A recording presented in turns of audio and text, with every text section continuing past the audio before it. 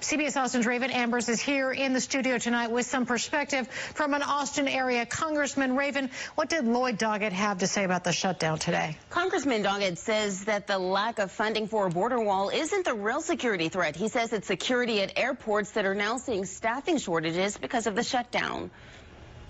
It's not on the not only the longest shutdown, but it's practically unprecedented to have a president who shuts down his own government. There seems to be no end in sight for the more than three week long partial government shutdown, the longest in U.S. history. As federal employees continue to work without pay, House lawmakers are scrambling for a solution. We talked to Congressman Lloyd Doggett before he heads back to the nation's capital.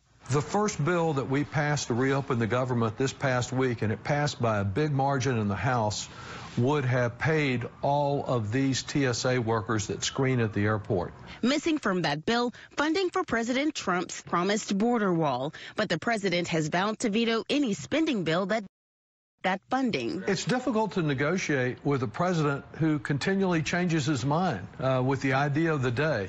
The shutdown is already impacting airport security. A security checkpoint at George Bush Intercontinental Airport in Houston was shut down Sunday because agents with no promise of pay are refusing to show up for work. It doesn't make us more safe, it makes us less safe with the danger of airline problems.